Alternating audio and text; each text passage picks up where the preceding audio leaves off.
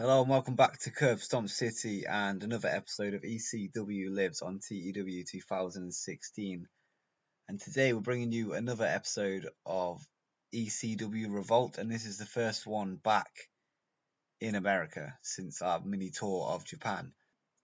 And we're opening with a contract negotiation with Mephisto, who you might recognize from the Super Lucha event back in July and they got a decent rating, 56. And I was looking through the filters and the search, and he came up from what I searched for, and he seems to fit the bill. He's got strong chain wrestling, strong aerials. Popularity in the tri-state is 33, so that's decent as well.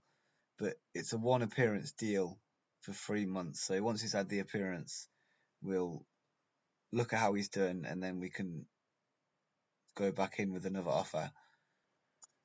We are also going to offer the same contract to Gangrel. And I quite like Gangrel. Um, we're going to have to see how he gets on. But yeah, one appearance just to just to evaluate him. We've also got a couple of other TV deals running out. So the two Japan deals are running out. So we're going to have to fix that. Maybe even try and get a better time slot with them. So we're going to do late evening. So that's the same expectation as what Bravo want. So we may as well do it since that's what we're expected anyway. So we're going to go to late evening. So our TV ratings should get much better. Um, we're also going to do the same for Sapporo TV. Globecast TV is also running out, so we need to renegotiate with that. We can't get prime time on this one, so we're going to have to leave it at late evenings. Um, we may as well negotiate it while we're here. We'll go six months with this one. And we're just going to rename Gangrel Gangrel, as I believe that's his legal name now. I think he owns the rights to the name. I've also just noticed that Samoa Joe has bulked up and he's now officially a heavyweight. So yeah, that's a pretty cool thing to happen. And before the show, we have some locker room incidents. One with Juventud Guerrera. He turned up late. So we're going to fine him. And he's improved his behaviour.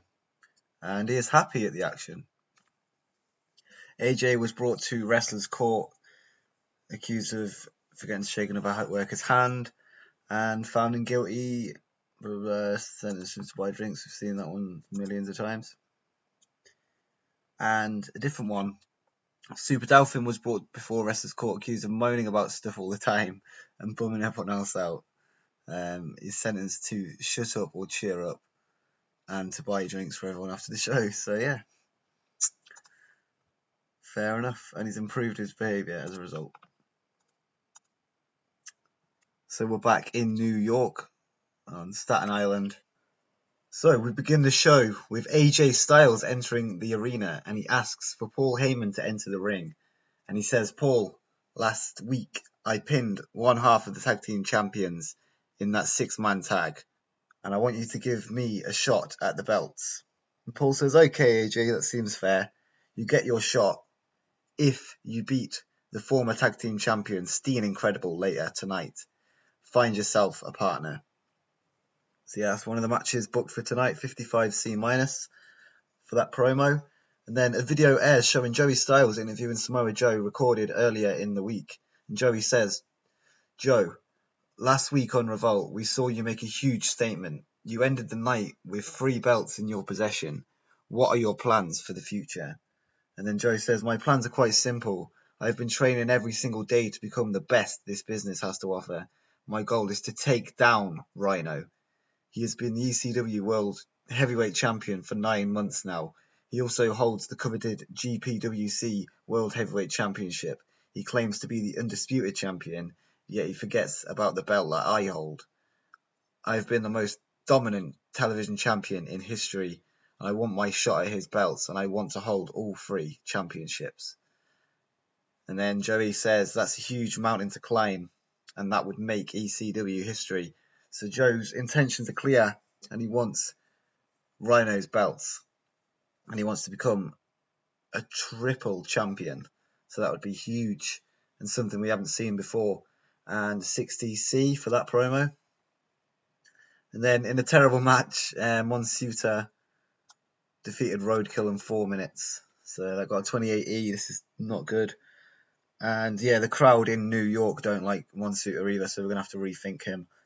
Um, he got a 17. Roadkill got a 38. So Roadkill actually did better. Roadkill was brought in just on a local worker deal, just as a jobber.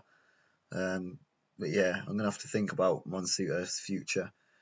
Um, so yeah, 28E, not great. And then a video airs saying Vampiro returns tonight, and that got a 67 C plus, so he's back from his suspension. And then in about that had decent wrestling, but little heat. AJ Styles and Devitt, so he's picked Devitt as his partner, who was in the six man tag last week and they've defeated Steen Incredible in 8 minutes 28 when Fergal Devitt defeated Kevin Steen by pinfall with a fast roll up. Fergal got a 43, Styles got a 63, Steen got a 48, Incredible got a 64. Yeah, this is going to help get Devitt over, teaming with AJ. And this got a 60C, so that's a good match. And then Paul Heyman is in the ring ready to make an announcement.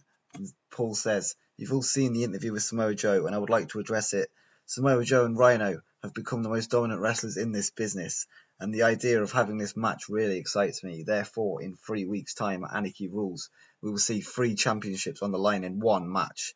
ECW Television Champion Samoa Joe will take on the undisputed ECW GPWC World Heavyweight Champion Rhino to find out who is the true champion of the world. And then Heyman turns around to exit the ring, and Rhino is stood behind him, and he goes straight through Heyman. And then Samoa Joe runs down the ramp and drops his title whilst running. And then Rhino escapes the ring and runs up the ramp, grabbing the television championship on his way. So that got a 68C plus, so a good segment.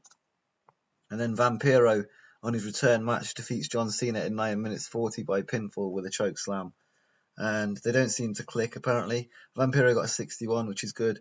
John Cena got a 39 and 58 C minus altogether.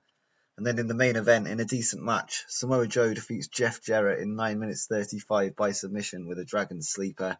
Jarrett got a 54, Joe got a 72. And yes, yeah, 67C plus in the main event. So that's just to give Joe a win and to keep him strong going into the future. And then the show ends there.